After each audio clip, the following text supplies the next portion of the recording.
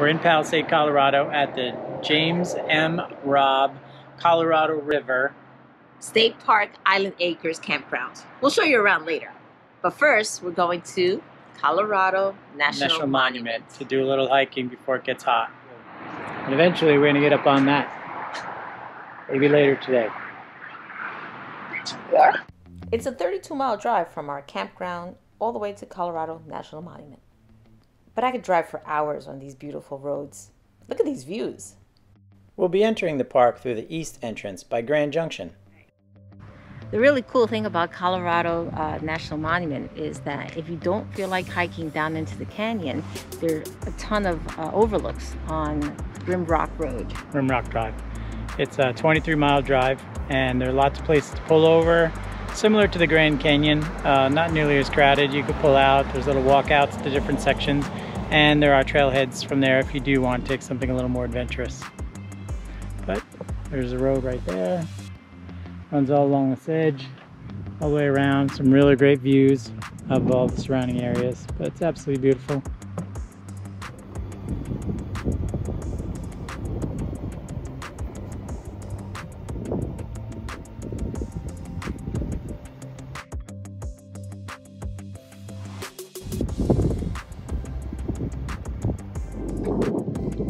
Beautiful formation standing by itself out there is called Independence Rock. And on 4th of July, uh, the Sky Otto started a tradition of climbing the rock and putting an American flag on top. And that's continued to this day.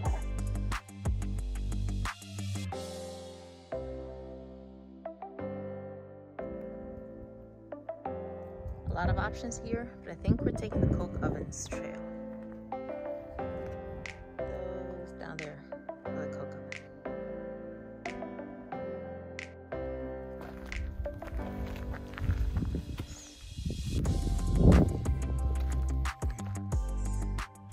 There were hummingbirds flying all around us. We finally got one to hold still long enough to capture some footage. So glad we came to this park as early as we did. Look at the scenery. And the weather was perfect for the hike. So this is the end of the trail to the Coke Ovens. We asked the ranger why this is a national monument, not a national park. They said the people in Colorado want to keep it that way to keep it a little bit below the radar.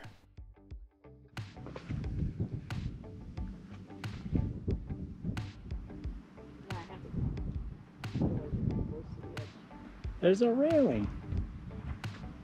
I only go as far as the railing and then a little bit more. so I'm supposed to trust that railing with you. I just pushed on it. Exactly. It did- you could- It didn't fall. Somewhere over there is a doorway. I saw it when we were driving. Now I just have to find it. there. One climb up there, climb, woman, climb. He thinks I'm a mountain goat, this guy. Better than a billy goat. Billy goats just eat trash. Yeah, that's true. Oh, this is nice.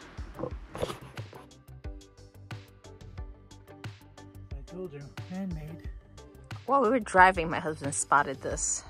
And I don't know how he's driving on that winding road and spots this.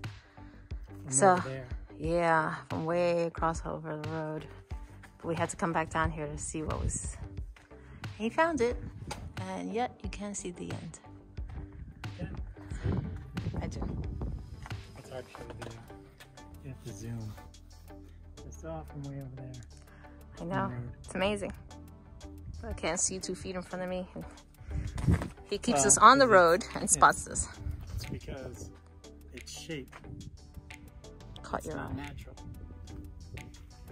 Rectangle. Oh, It's wow. squares on curves. It's practice. I think there's something on the sign about it. Come double check.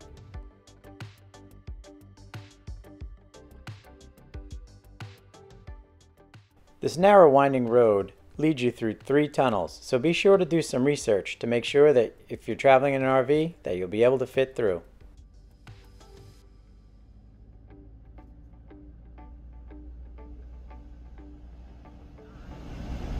Out of their minds. This is a very popular cycling location with 2,300 feet of climbing. You wouldn't catch me riding around here.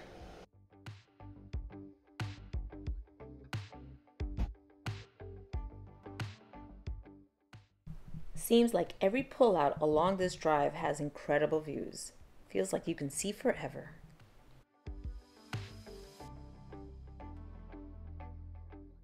If you look to the left, you'll see a bighorn sheep. I believe the name on the sign says it all.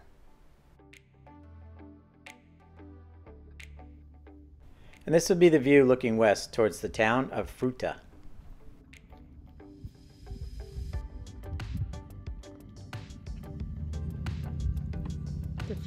Visitor center or behind the visitor center.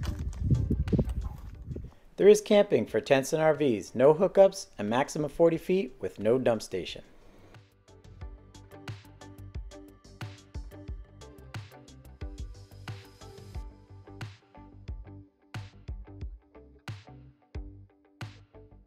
On the western end of the park, you'll find Redlands View. Be sure to stop and walk out and check out the signs. On those signs, it shows you where to see the faults pushing the geography upwards. It's always a special treat to catch wildlife out in its natural surrounding.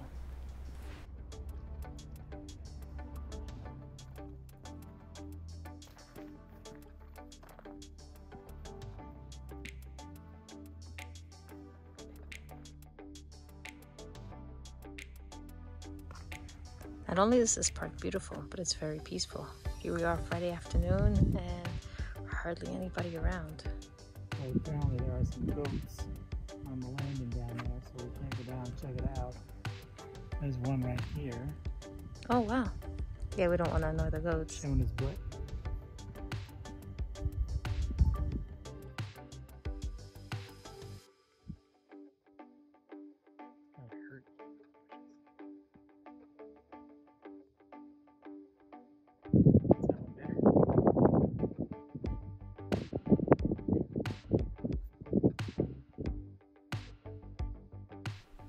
And on the other side of the road, up on top of the little hill, we spotted this male watching his family from a distance. As people got closer to his family, he decided to come down and protect them.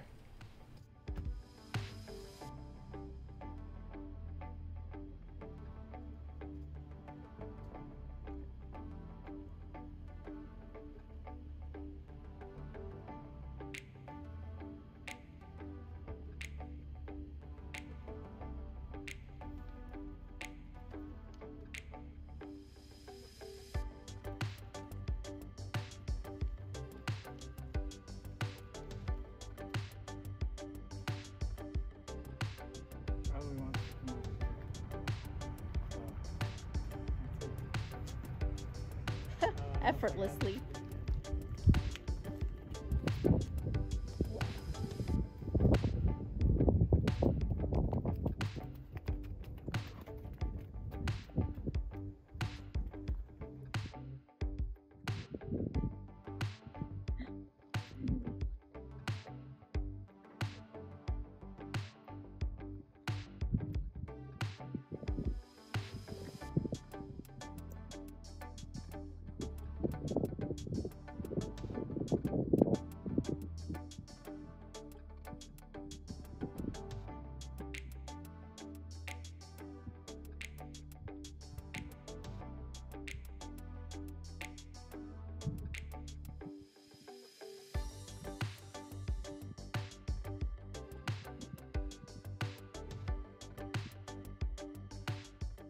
And every once in a while, the camera gets lucky.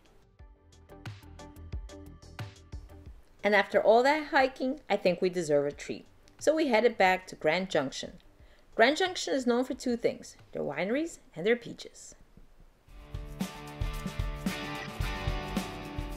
With over 30 wineries in the area, you're sure to be able to find something that you'll enjoy.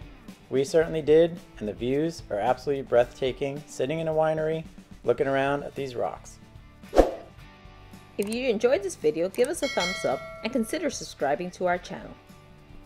And remember, when you're out there loving life, Do it hitched up.